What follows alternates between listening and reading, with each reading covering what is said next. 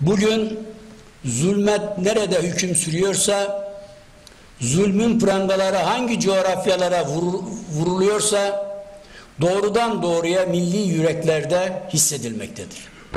Çünkü hedef ya bir Türk yurdu ya da bir İslam beldesidir.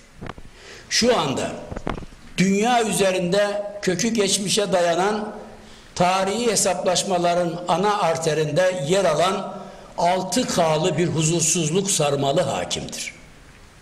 Kaşgar, Keşmir, Kerkük, Kudüs, Kıbrıs, Kırım'dan oluşan altılı sorun zinciri çözüme ulaşmadan hak ettiği köklü, kalıcı ve kapsayıcı sükunete kavuşmadan dünyaya huzur gelmeyecektir. Sözünü ettiğim Türk ve İslam yurtlarının hepsi haksızlıklarla, adaletsizliklerle, dayatmalarla boğuşmaktadır. En son olarak ilk kıblemiz Kudüs, ABD yönetiminin olduğu bittisiyle İsrail'in başkenti ilan edilmiştir. İsrail'in 1980'deki girişimi Birleşmiş Milletler kararıyla çürütülmüştü. Şimdi yeni bir izansızlık ve haydutluk karşımızdadır. Bu olacak şey midir? Bu kabul edilecek bir durum mudur? ABD'nin Kudüs'ü İsrail'in başkenti olarak ilan etmesi bir defa tarihe, vicdana, hukuka, insafa, insanlık mirasına hakaret ve hiyanettir. Bu aynı zamanda siyasi cürüm ve cinayettir. Vahşi batı hukukunun aynısıyla Orta Doğu'ya tatbik etme çabasıdır.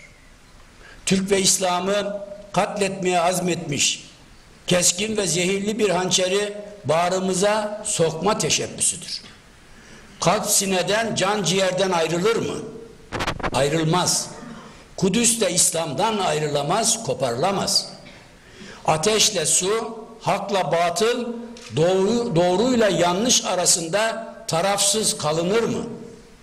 Kalınmayacağına göre tarafız, tavırlıyız, Kudüs davası karşısında manen intifadayız, kurtuluşuna kadar da infial halindeyiz.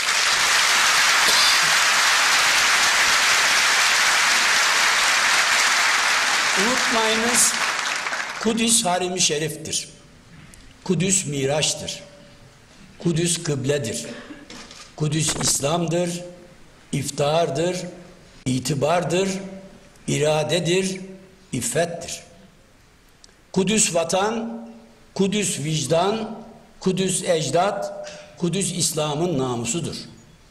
Bu namusa musallat olan, bu namusa el uzatan Siyonizmin tetikçileri ve onların işbirlikçileri kaybetmeye hem insanlık hem de Allah nezdinde mahkumdur. Kulun hesabı varsa Allah'ın da hesabı vardır. Kul tuzak kurmuşsa onu bozacak, onu alt edecek ilahi bir tuzak muhakkak varlığını gösterecektir. Oyunlarla elimizden alınan yerin adı Kudüs. 9 Aralık 1917'de işgal edilen vatandır Kudüs. İstanbul'dan atanan idarecilerle dört asır yönetimimiz altında bulunan şehrin şanıdır Kudüs. Efendimizin mirası, Hazreti Ömer'in emaneti, Yavuz Sultan Selim'in heyecanı, Kanuni Sultan Süleyman'ın rüyasıdır Kudüs. Hazreti Mevlana der ki, hilecinin özü içi çürümüş ceviz gibidir. Kudüs'e ambargo koymak için mevzi almış ABD İsrail korsanlığının hilesi, hurdası, hayasız kumpası imanın ateşiyle birlik ve dayanışma ruhuyla bozulacaktır. Bugünkü alacakaranlık inancım odur ki doğacak fecirlerin müjdesidir. Trump madem İsrail'e başkent bulmaya meraklıdır, madem içine düştüğü siyasi darboğazı Kudüs komplosuyla aşmanın gayretindedir, o zaman tavsiyemiz ya gitsin İsrail'e iltica etsin ya da durmasın İsrail'in kripto başkenti olan Washington'u alenileştirsin. Kendisine yakışan bu olacaktır. Kudüs'ü 100 yıl önce bırakmak zorunda kalmıştık. Ancak bu kez kaderine terk etmeyeceğiz, etmemeliyiz. Hiçbir zafer bedava kazanılmaz. Hiçbir başarı yattığımız yerden elde edilemez. Zorlayacağız, zora dayanacağız, zorbaların üstüne üstüne gideceğiz. Haklı davamızdan tek bir adım geri atmayacağız. Çünkü Kudüs düşerse tarih düşer, İslam zaafa uğrar. Kudüs düşerse Ankara kaybeder, İstanbul kavrulur. Buna da kimsenin hakkı yoktur. Bunu da hiç kimse yapamayacaktır.